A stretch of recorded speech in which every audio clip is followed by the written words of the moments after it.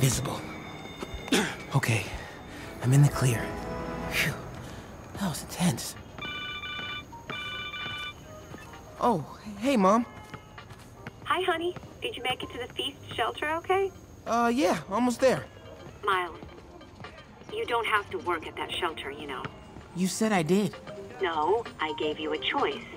Yeah, and I chose this over more therapy. I mean, it was helpful. The guy said everyone grieves in their own way. This is mine. Okay. Sorry. Mom, Yeah? just because I don't want to talk about it doesn't mean I don't love you. Oh, honey. I love you so much.